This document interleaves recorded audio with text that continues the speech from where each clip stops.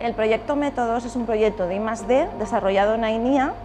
financiado por fondos FEDER y BAFER. El objetivo prioritario del proyecto es detectar riesgos emergentes.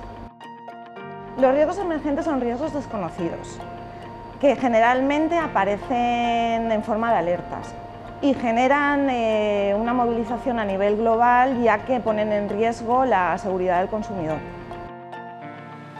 EFSA plantea eh, una serie de situaciones, identifica unos riesgos y a posteriori, en el caso de que esos riesgos se confirmen,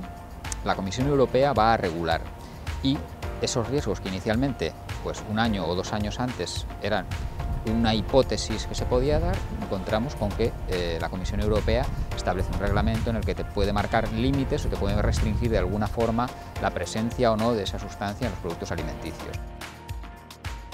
Para las industrias del sector agroalimentario es clave anticiparse a los riesgos que pueda haber.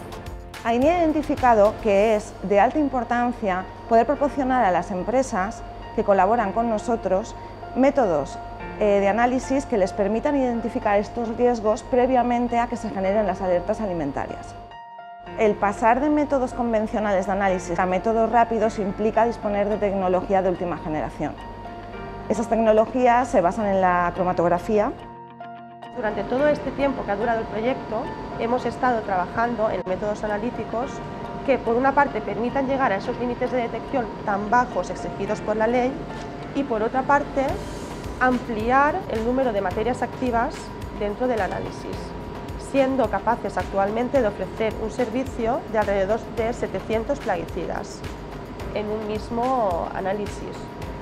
Los riesgos emergentes identificados pueden provenir de diferentes eh, fuentes. Generalmente se,